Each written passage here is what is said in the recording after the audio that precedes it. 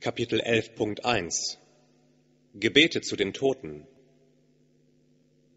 Die Leute, die Gräber anbeten, richten ihre Gebete auf zwei Arten an die Toten.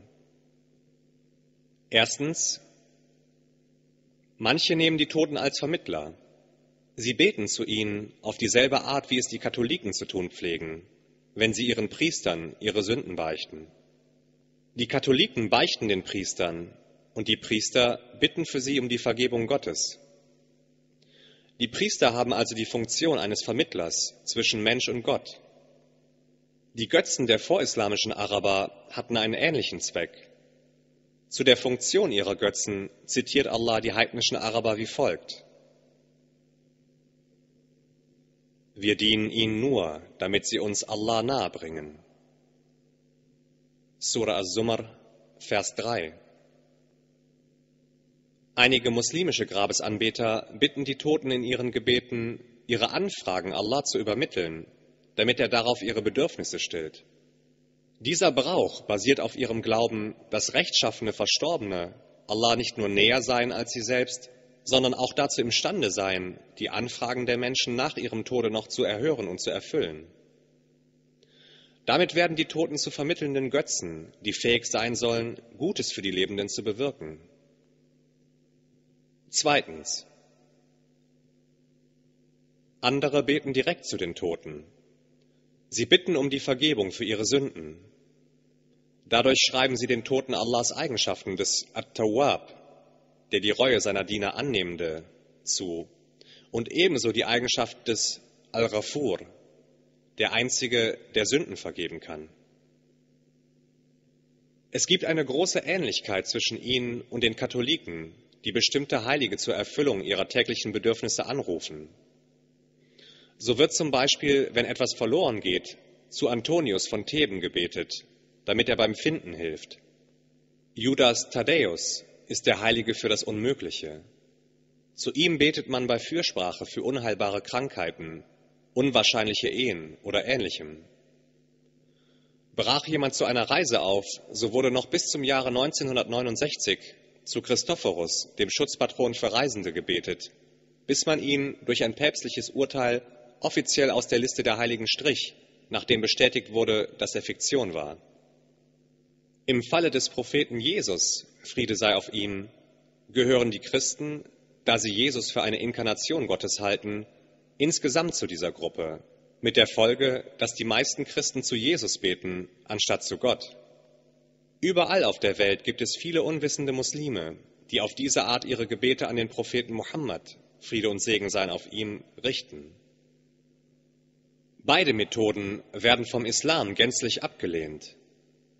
Die islamische Lehre besagt, dass der Tote eine als Barsach bezeichnete Dimension betritt, wo seine Taten ein Ende finden. Er wird unfähig, irgendetwas für die Lebenden zu tun, obwohl die Ergebnisse seiner Taten auf die Lebenden weiterwirken können und er dafür auch fortdauernd Belohnung oder Bestrafung ernten kann. Abu Huraira überlieferte, dass der Gesandte Allahs, Friede und Segen seien auf ihm, sagte, wenn der Mensch stirbt, hören seine Taten auf, außer dreierlei. Etwas dauerhaft Gestiftetes, nützliches Wissen und ein rechtschaffenes Kind, das für ihn Bittgebete spricht. Der Prophet bemühte sich aufs äußerste zu erklären, dass er in diesem Leben niemandem nutzen könne, egal wie nahe er verwandt war. Allah befahl ihm im Koran, seinen Anhängern Folgendes zu sagen. Ich habe nicht die Macht, mir selbst zu nützen oder zu schaden, es sei denn, Allah will es.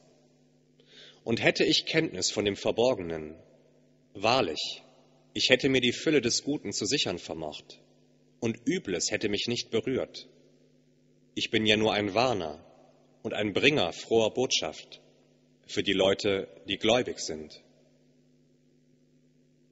Surah Al-A'raf, Vers 188.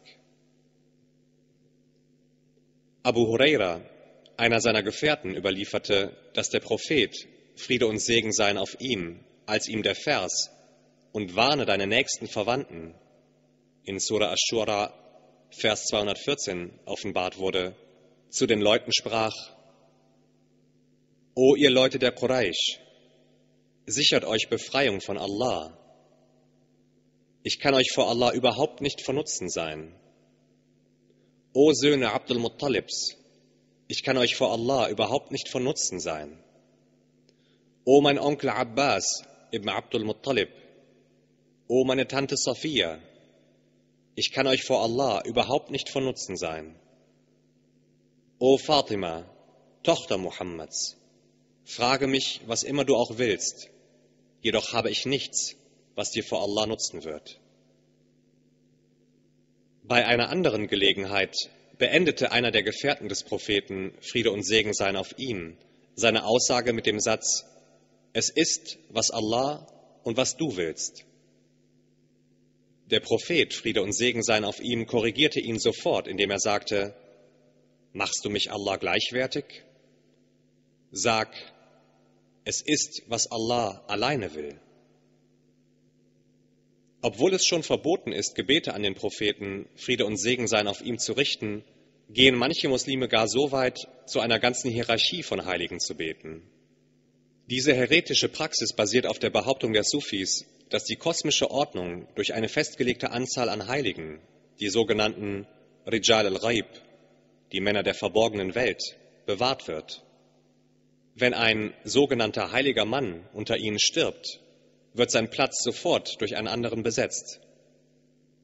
An der Spitze der Hierarchie ist der Qutub, der sogenannte Pol oder die mystische Achse der Welt oder der Rauf, was so viel bedeutet wie Rettung oder Hilfe.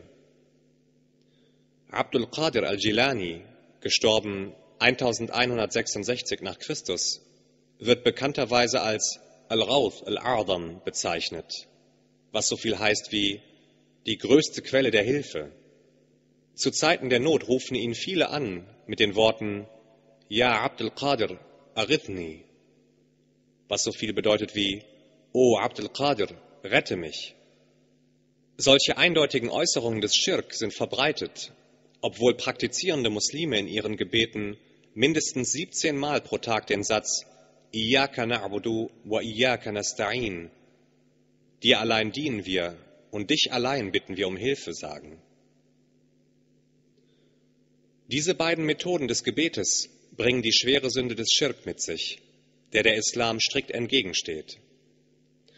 Dennoch haben es beide Methoden in der einen oder anderen Form geschafft, sich in die religiösen Handlungen der muslimischen Massen der heutigen Zeit einzuschleichen. Durch diese Haltung bekräftigen sie, ohne es zu wollen, die Richtigkeit der drohenden Warnung Allahs im Koran und die meisten von ihnen glauben nicht an Allah, ohne ihm Götter zur Seite zu stellen. Surah Yusuf, Vers 106. Ebenso warnte in der Überlieferung des Abu Sa'id al-Khudri der Prophet, Friede und Segen seien auf ihm, Ihr werdet gewiss das Brauchtum derjenigen vor euch Handspanne für Handspanne und Ellenlänge für Ellenlänge befolgen, bis ihr ihnen auch dann nachgeht, wenn sie durch das Loch eines Dab durchgehen würden. Wir sagten, O Gesandter Allahs, die Juden und die Christen meinst du? Und er antwortete, wen sonst? Thauban überlieferte ebenfalls, dass der Prophet, Friede und Segen seien auf ihm, sagte, Der jüngste Tag wird nicht eintreffen, bis manche Gruppen meines Volkes Götzen anbeten werden.